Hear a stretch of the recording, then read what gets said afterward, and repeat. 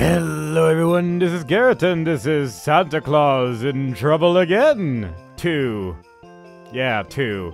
By CDV Software Entertainment AG. Ooh, I'm pretty sure don't actually exist anymore and pretty much seem to have only made Santa games and some sort of weird Easter thing. But yes, it is Christmas hopefully today, assuming I uploaded on the right time, and that's why we are going to go to the Nasty Woods, where we shall prove that Santa is an, an excellent adventurer who can run around in seemingly very low frame rates, even though the game is running at 120 frames per second.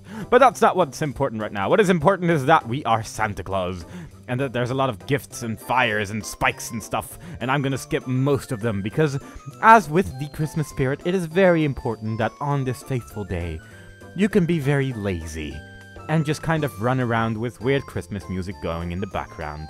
Now, I have played the prequel, or well, the predecessor, I don't know how you're gonna call it, but the previous game in the Santa Claus is in Trouble series, upon which I told a very accurate Christmas tale, upon many people were like, what, or other such criticisms as, uh, why is this story so much like Mario RPG, or that doesn't sound quite right. I don't think that's what happened. But fortunately, I can now play the sequel and tell you that everything I've ever said was entirely correct.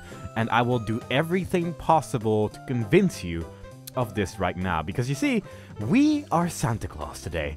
And the important thing to remember that when you're Santa Claus is that you are the size of a hedgehog. Now, you don't see hedgehogs very often. I mean, like, you gotta admit, I mean, hedgehogs are among the type of animals which you just don't see very often, along with tiny, tiny statues of yourself, which give you extra lives. But there you go. Now, you don't see hedgehogs very often, and that's why you don't see Santa Claus very often, because Santa Claus is clearly very small, running around in a land with very, very small trees and such jump pads as these. Which make you wonder, where is Santa right now? But that's fine, because you don't need to wonder you don't need to wonder about that, because he works when you least expect it, crawling like a hedgehog into your house, bringing you so many things. Have you ever considered how hard it would be for, for a hedgehog to bring you all the presents you may or may not receive on this fateful day? And if you don't receive presents, then, well, that, that, that would make it a bit easier, I guess. But have you ever considered a hedgehog bringing in any type of food or whatever? I mean, doesn't really happen very quickly. So clearly, Santa knows what he's doing. And that is why I am clearly correct in everything I've ever told you. Now, what is important in this game is that you make sure not to die, because if you die, then Santa may have to miss Christmas, and that will give him a lower score in the leaderboards, and it'll make him very sad. And this thing is glitchy as hell. Uh, I'm not really sure what's going on with that platform over there, but that's not happened before until now, but that's not important, because we're still in level 1, getting all those extra lives that Santa needs to keep his high score high with his magical double jumping abilities and landing in the weird donut shaped thing of happiness. Now, this is where your points, your gifts tally up to certain points, uh, certain amount of points using maths, and then you get your time left, blah blah blah blah. Very exciting. I'm not gonna watch it because I don't really care about points. For two reasons. One, you can upload your points to a leaderboard, and the last time I tried that with the previous game, the game crashed because the leaderboard probably doesn't even exist anymore. Um, I'm gonna assume it's the same thing with this game, not gonna lie. And secondly, if you say if you say you game over, which uh, could happen, I mean Santa, he has a difficult life. I mean, look at this snowman. I mean, he looks very nice, but if you touch him, you die. So clearly, he is living a pretty tough life. And the moment you hug too many snowmen, so to speak, you get this little screen where it says, Do you want to save your score to your local high score so you can look at your score on your little PC whenever you can? You will be sent back to the main menu and you have to start all over again, and I don't really feel like doing that. So, unless we beat the game with all the presents, which will not happen, we are just gonna play through it and not bother with scoring or bouncing snowmen making boing boing noises. Because, as you know, snowmen are known, to, well, at least in the Netherlands. I don't know what it's like in other countries, to be honest, but snowmen in the Netherlands often spin around and jump up and down, going boing boing. Because that is the only way a snowman knows how to travel. And hedgehogs are horrible beings that are gigantic and evil. Those are the really small snowmen, actually. I mean, considering the snowman is the size of a hedgehog, or the size of Santa, I guess, but, well, they're clearly the same size, so it's fine. Now, uh, this platform is too quick for me. I'm only Santa, I can't travel that fast. But imagine a snowman the size of a hedgehog. How hard would it be to find a top hat for each of these snowmen? That is another one of the harsh lifestyles that Santa has chosen, except when he travels to the children lands and suddenly becomes bigger and hangs around in malls and tells people what they are getting and then it all feels very sad when they don't, but that's fine. Because Santa's living a harsh enough life as it is, so he may every now and then play a little prank on them kids, if, if they will. And that hedgehog came from the floor. That's fine, that's fine. And another thing Santa has to worry about is that when sometimes his double jump just doesn't work and he falls into a pit and dies, and it's not a very good lifestyle, you have to admit, and but that's what you get when you live the life of someone with double jumping abilities. Now, as you may notice from the previous game, they have definitely improved the music, which is the only thing I'm gonna say about it. There is still the exact same music from the previous game in this game as well, which uh, is a nice touch, a nice callback to the previous game, you know, to um, make you feel that nostalgic feeling of when you were playing Santa is in trouble. One Claus. What was uh, Santa Claus is in trouble? Penguins! Ah! So if you touch a penguin, oh, you hear the crippling death scream of Santa the moment you touch a penguin. So make sure never to touch a penguin. Although I did pet one in real life once, but I have to admit that one was not wearing a bow tie. And bow ties are known to cause evil things to happen to penguins. So if you ever do see a penguin with a bow tie, run. You will not be safe unless you run from this evil monstrosity. He will follow you until the depths of wherever penguins go, I guess, like the zoo. I don't know. I don't really follow penguins around very much, but he will follow you until those depths, and it will be very... Did I really touch that penguin? I don't think I touched that penguin. See, this is the power of the penguin. He is so strong that he can telepathically destroy Santa Claus without even trying. It may have just looked like he was just walking forward, but no. He punched Santa in the face with his little flipper, and it made Santa so sad that he flew into a bloody mess. Now, Live! Okay, gotta believe in Santa sometimes because his jumping ability is unmatched by anyone. And that is something you should just keep in mind when you're playing such games as Santa Claus 2 In Trouble Once More. And it's important that you trust Santa in his jumping skills because he can't actually move backwards, which is very well, he can move backwards like in midair as well, which is pretty impressive on its own, but Along with that, you should still trust him a little bit just to give him that extra bit of confidence. Now, this is one of those examples where the double jump doesn't always work, like with these little sloped platforms. Like that, that will be a problem. When the double jump is like, no, and you fall to your depth. Now, an interesting thing is that they did add a physics mechanic to this game using these beautiful platforms, which are slanted in only a way Santa can travel on them. But it does mean they should probably have tested it beforehand, which CD software may not be best known for. They are most known for having birds and spinning logs. Why do the logs spin? I don't know. Because it's Christmas. Of course it is. That's why the logs are spinning. That is all, all you really need to know. So keep that in mind and move on as we go through the green land of Christmas Eve because Christmas is known for its green lands, its green landscapes, and so forth. So that's why you should live peacefully, for otherwise the green land may not be as green that day. And that would truly be a terrible occurrence. And as such, Santa's gonna wait in the tree. Not really sure why Santa is climbing trees right now. I mean, once again, this would be one of those situations where having a sleigh with flying reindeer would possibly be more convenient than jumping around trees, but Santa has his own hobbies and we should not judge him for it. Like falling into deep pits of death.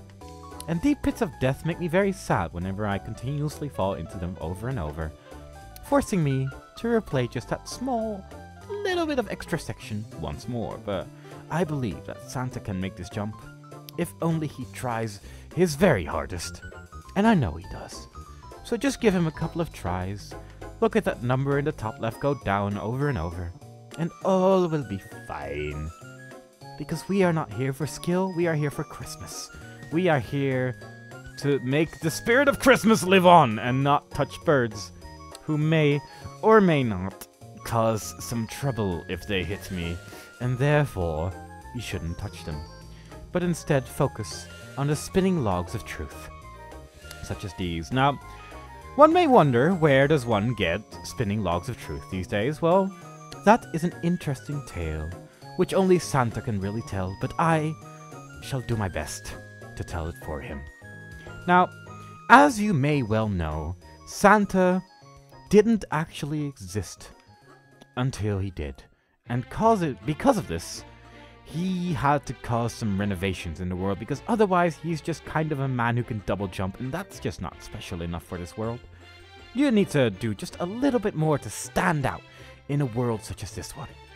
I mean, there's birds, there's hedgehogs, there's penguins and snowmen. I mean, you gotta do something which makes you feel unique to the world. And admitted, Santa is seemingly the only living person left alive in this particular world. It is still important to just have that extra feel of uniqueness. And that's when he knew he had to give the trees a sentient more, well, more sentient lifestyle. I mean, trees are, of course, very sentient beings. But Santa didn't think that was quite enough he decided to study the dark arts to make the trees just a little bit more vivid, which, you know, makes them a bit more interesting for the kids. I mean, how many keys? How many kids have seen a tree? Well, well, a fair amount. Let's let's be honest. There's a fair amount of trees in the world, but how many kids have seen trees that spin around manically for no real apparent reason? And that is where Santa has truly renovated this world. Spinning logs that spin on whatever surface they happen to be. And, and of course, platforms which make you fall off the moment you touch them, pretty much, but, you know, that's just Santa's way of giving to the world. As is written in all Christmas tales, where Santa was a very helpful being to the world, a very noble creature, learning only to give and not receive in horrible ways, such as falling into horrible pits of death. They make sure the children do not have to suffer that same fate. He alone will cherish the memories of Penguintonia, not hit those tiny spikes, because even though those icy spiky things may just look like ground, and the penguin just quacked at me, that's a little disconcerting, but that's fine. Even though they may only just look like parts of the ground where you can clearly just walk on, nope, it will send you flying off into the abyss, where Santa will be waiting for you, along with as many clones who came before him. For you see, Santa was clearly cloned all this time, because how else would he be everywhere? It only makes sense that Santa was all part of an experiment, where he got cloned repeatedly, so he too could wish everyone a Merry Christmas, regardless of where they lived. It was the only possible solution, and therefore, he had to do what needed to be done. Because without Christmas, why would he even exist? He is the embodiment of Christmas, and therefore, he needed to be everywhere at the same time. And as you may have seen in the film called um, The Prestige, I believe it was called, with Christian Bale, Cloning isn't that tricky, you just need to have a decent idea of how to do general mechanics. Also, bears should not be riding sleighs, but for some reason Santa has allowed this to happen.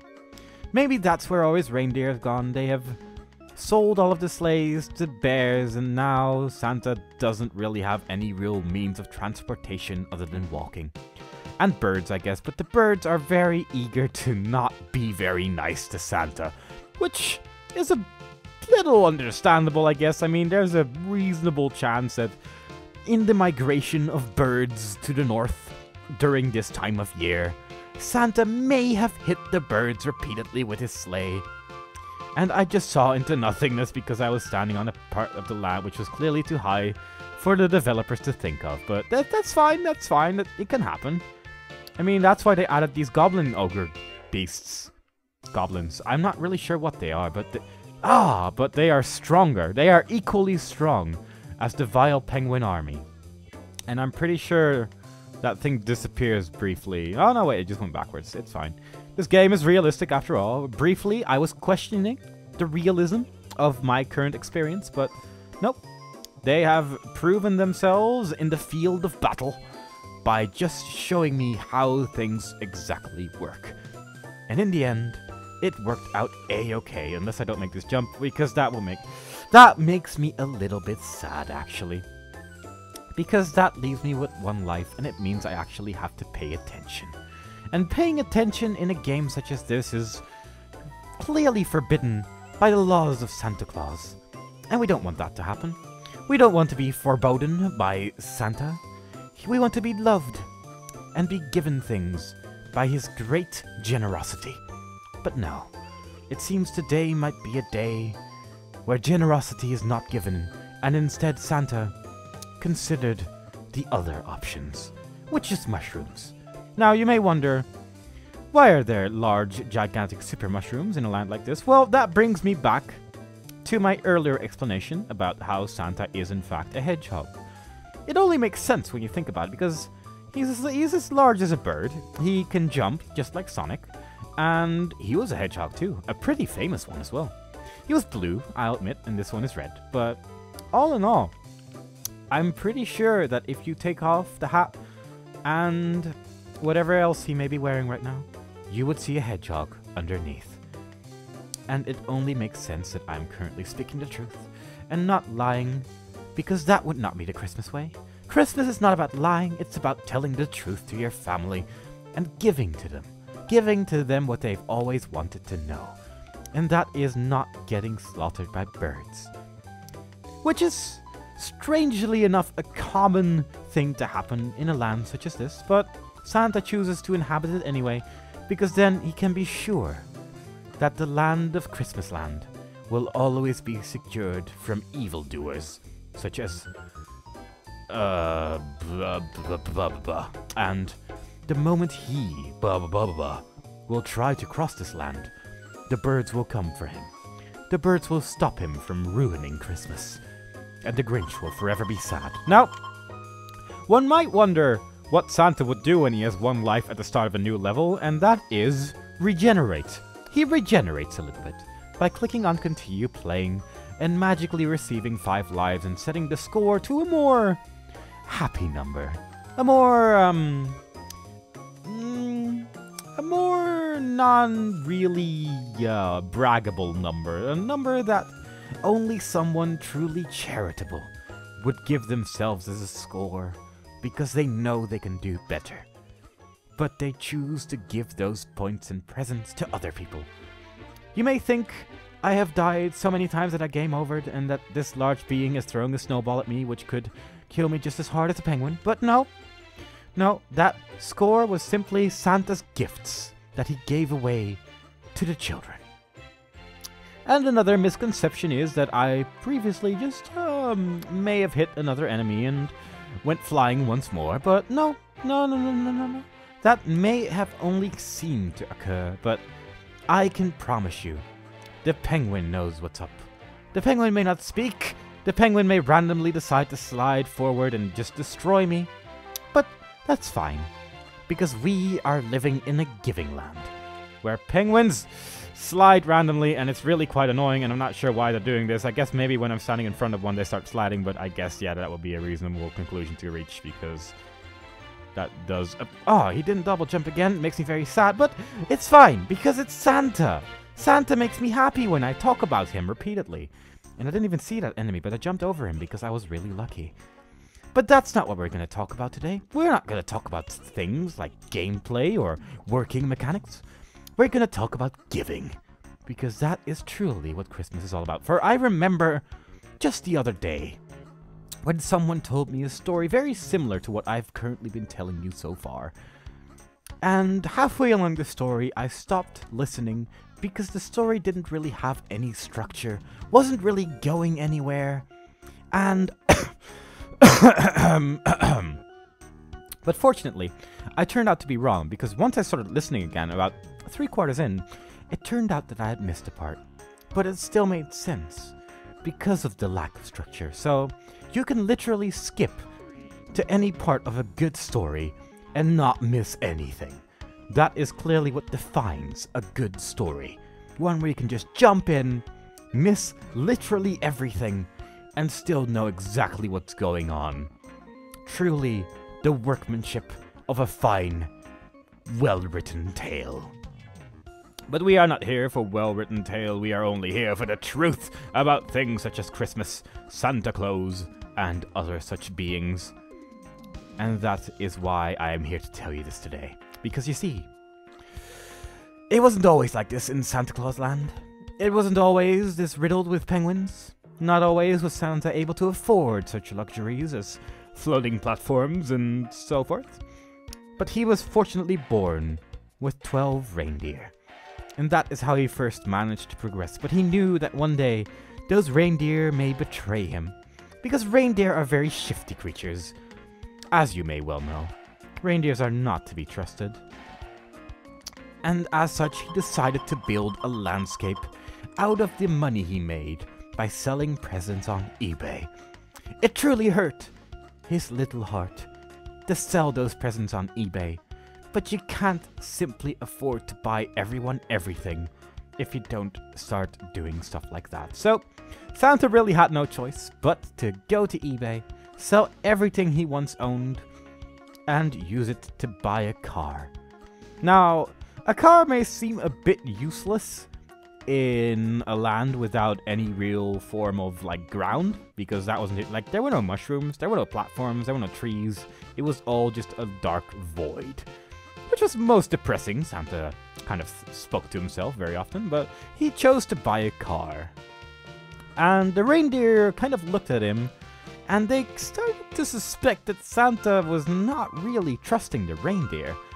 So Bilbo, the reindeer, decided to go and just kind of sneak up on Santa, just kind of uh, look what he was doing lately, uh, see if Santa could still jump. It would appear not, but that's that's fine because it's it's Christmas and jumping is clearly not necessary when you're on the edge of a dark void. Uh, this could be a problem actually if Santa doesn't decide to jump soon because Santa needs to live for this story to make any sense. Uh, and uh, yeah, I'm, I'm thinking about letting Santa take a. Oh wait, no, Santa knows how to survive the Dark Void eventually. Once he reaches, he reaches Santa. Yes. Okay, now that was clearly uh, part of the story, but anyway. Bilbo the reindeer, as I was saying before rudely interrupted by gravity, decided to sneak up on Santa to see what he was doing, and found out that Santa wasn't going to eBay. He didn't buy a car to go to eBay and live in eBay land where he may forever give everyone presents for a reasonably affordable price, and occasionally give them a brick because they have clearly been rude. He did not go to eBay at all. He was dealing with the gift mafia. And that was when Bilbo knew he had to act quickly. He had to get Santa Claus out of his massive gambling debts with the mafia to pay off his debts with the mafia. Yeah, I guess that kind of spoke for itself the moment I started speaking that sentence, but no, that's fine, that's fine.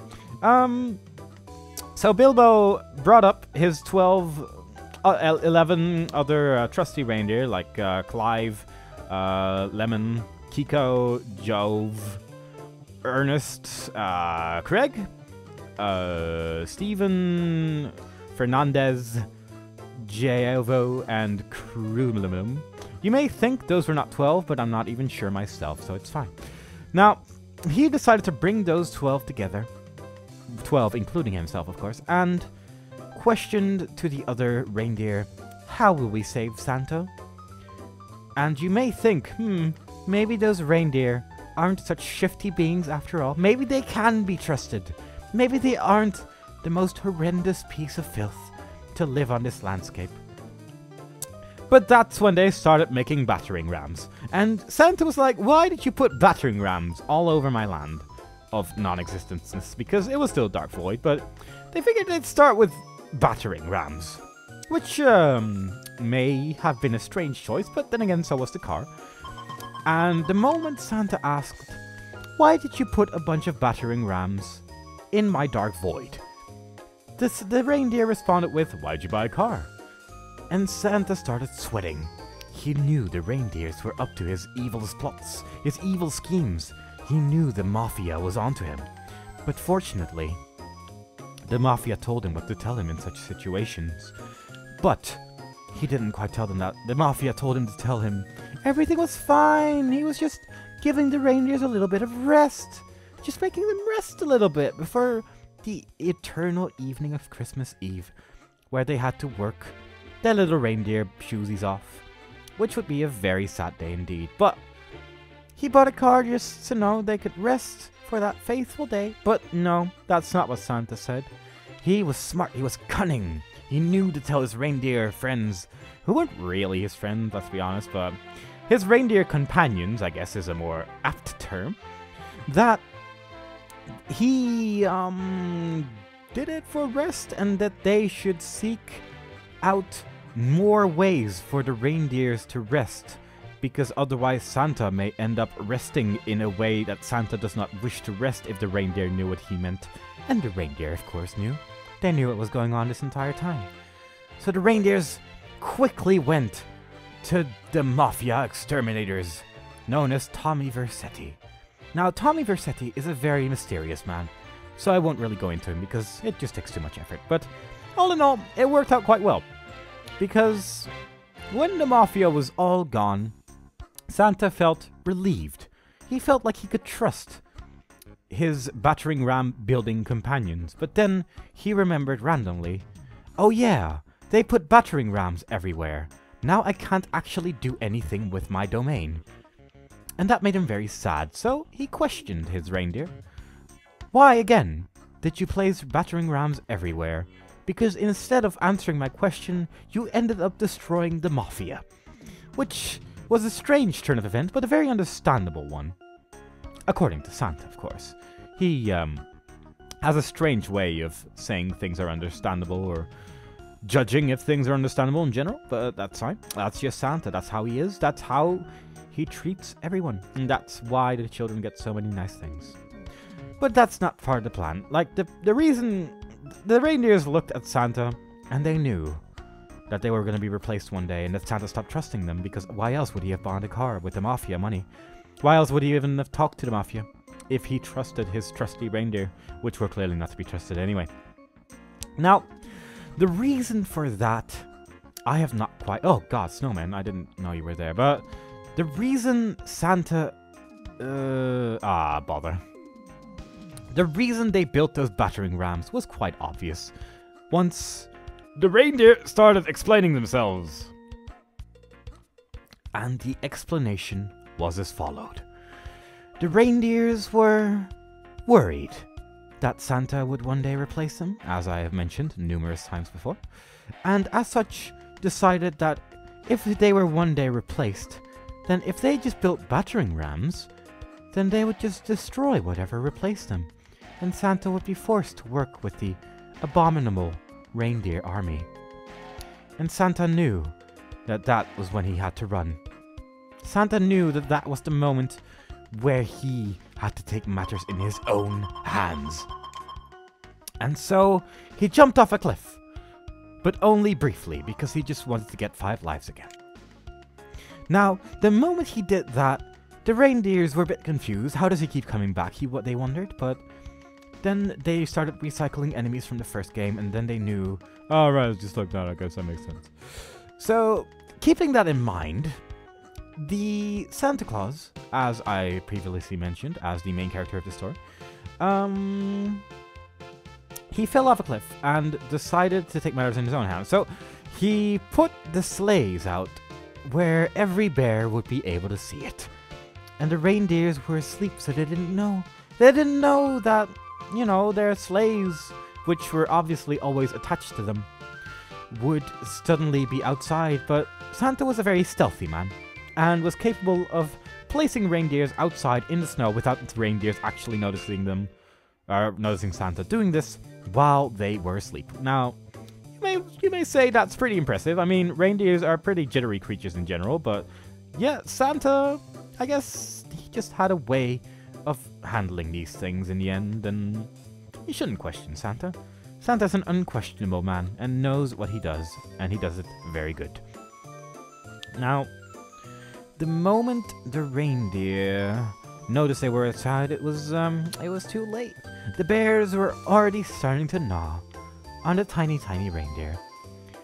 You may wonder why I'm calling them tiny, tiny, but do remember, Santa is the size of a hedgehog, so the reindeers probably weren't much bigger. In fact, maybe they weren't even reindeers at all. Maybe they were just hedgehogs as well. And Santa just has a very weird way of finding people to help him deliver presents to the children. But that's fine, because he worked it out, and the, the reindeers were already planning on revolting soon. But sadly, the, rain, the reindeers were too late and nearly fell off the landscape here. And Santa grabbed his extra life and said, Yes, my little reindeer. Today was the end of your vile judgment upon me. Today was the last time I let you defile my lands. And knew that now that the Mafia and the reindeer were gone, only he was in control of his destiny. And thus he saw the opportunity to take the bears and use them. Use them for what they were best at, and that was building houses. Because as you may know, bears are excellent at constructing things. They are excellent at deconstructing things as well. And they were excellent at jumping at birds. But mostly, they were excellent builders. And that is why he decided to build an entire landscape. Mushrooms everywhere, houses, rooftops, presents flying everywhere. The presents don't just make themselves. Well, I guess they kind of do. They kind of just generate. One might expect them to be bought by people, but no. This is where presents are born. And where Santa once again fails to do his double jump repeatedly, and it is really quite irritating, one might say. But that is simply the life of a Santa Claus. And that is what happened to the reindeers of Santa. Eaten by bears, but replaced by life. So in the end, if Santa hadn't sacrificed his noble friends, there would be no Christmas. There would not even be a planet. Because that is Santa's wish. That everyone lives on a planet made entirely out of the loyal hands of bears. And whoa, that camera was beautiful. But that's that's fine. That camera was all part of Santa's plan to one day get past this area of judgment and be the one Christmas man to rule over Christmastopia. Sadly, then birds appeared, and they became really quite annoying, and then Santa was like, Birds, please, go away. But the birds were like, nah. And uh, Santa was like, oh no, why? Because it turns out the birds not really good friends with Santa, and it's kind of a problem when you're already this far in Santatopia, and suddenly birds just destroy everything. Quite problematic indeed.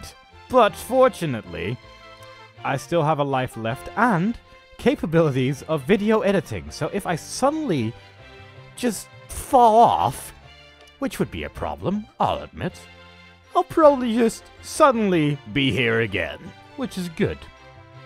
But that's not something we have to worry about right now. We just have to worry about what happened after the bird army invaded. Because you see, after the reindeers were gone, the natural predator of birds, of course, who would possibly defend the land against birds? And as you can probably tell from the rather large amount of birds crawling around here. There was not really anyone willing to take up this task of bird defenderitis. Bleh. And I live once more, but that's fine. Um, so yes, as you may be able to guess, no one was there to fight off the evil bird menace, which was a bit of a problem, as you may be able to expect, because birds actually just destroy everything. They, they mostly destroy stuff like clothing and uh, stuff like that, but uh, don't touch that, don't touch that, please, thanks. They mostly destroy stuff like that, and uh, cleanness, cleanliness um, is another thing they destroy with their vile, monstrositous bird for wings. But other than that, they um, they don't really do much. To be honest, they just destroy. They don't construct; they only destroy, and that is why the land is currently in the shambles it is currently today. Because one, wow, are you serious? That is amazing. Now, as I was trying to explain before, a bird rather unfortunately distracted me from my story. The bird army decided to overthrow Santa's kingdom. And that was a bit of a problem because Santa's kingdom was quite nice. And as you can see, it is slowly degenerating back into the dark world, dark, dark void world of today. And that is why Santa has returned. He has come back to bring down the bird menace. Bring down the evil penguins that rule this landscape. Bring down the flying monstrosities that simply are here to destroy. Bring down the snowmen that shuffle left and right and make boing boing sounds every now and then. Bring down the evil trolls throwing snowballs at the non suspecting Santa Claus. And that is where we are today. Santa knew about the evilness of the birds. He knew that he was the only one strong enough to stop the evil menace of evilness that the birds have brought upon the world. And that is why he's collecting presents. For you see, he needs some presents at least. Not all of them, obviously. Only the amount that I'm currently collecting, uh, clearly, to create what is called the Bird Snatcher. Now, the Bird Snatcher has one real purpose, and that is to snatch birds, as the name might imply. And once a bird is snatched, it often tells tales on his fellow birds. It tells us what we need to know who was the evil leader who came across the bird army and decided to rally it into the world of Santa. And that is why we are on this voyage. Perhaps one day we will create the bird snatcher and see if Santa Claus is in trouble a little bit even more kind of. Three, but I'm pretty sure the company who made this game never actually existed in the first place. So there you go. It's kind of hard to find any information about them at all, and like all of their websites are down. And while the previous game was a freeware game, this one is pretty much impossible to find anywhere. So yeah. Like I downloaded this in somewhere in like May or March or whatever this year and just kept it on my PC because I'm pretty sure I wouldn't be able to find it again. And I was right because I was trying to find a link for this video to put in the description to this game, but no, this game is just invisible to the world. But that's not important because we holy crap, this platform is amazing. Um but yes, we are not here to talk about such silly details as trying to find impossible to find games. We are here to talk about the bird army. For you see, I think it is best that we just make up our own story about what happened after Santa built the bird snatcher. And that is as follows. Santa, of course, built the bird snatcher out of the many, many colorful presents he found here and there. And then found out that there was only one person strong enough to build an army of birds so strong that they could take over the land of Christmastopia and accidentally clip through some rooftops every now and then because, yeah. And that was El Pollo Diablo, the only chicken strong enough to know what is what. And you may think to yourself, hey, I've heard that name before. I think you're just stealing that name from a different game like Monkey Island, but I I can assure you, you are wrong. For El Pollo Diablo is not to be trifled with, regardless of what land he lives in. And that was when Santa knew he had to take action. He went to the land of Chicken Land and knew that he was the one to fight off the evil chicken menace. And he was. Santa went over to the land of the Chickines and was like, You, devil chicken, why are you disturbing our land? You must just leave. You must leave our land of Santa Land, for I am the only one that has the power to stop you. For that was Santa's accent, and it's why he doesn't talk very much. But regardless, he stood before the devil chicken, and the devil chicken was like, Nay, we will not do such a thing. We will take down your land. We will take down your freedom. We will put you in the graves you deserve, for you've eaten too much of my kind, and I'm here to take global vengeance. And Santa knew. That was when he had to get his candy cane roller thingy and put them in his landscape. For everyone knows chickens are allergic to candy canes. And Santa was like, gee, I hope I'm going in the right direction because there's not really anything pointing to where I need to go right now, and falling down was probably not my best option, but it's fine, it's fine.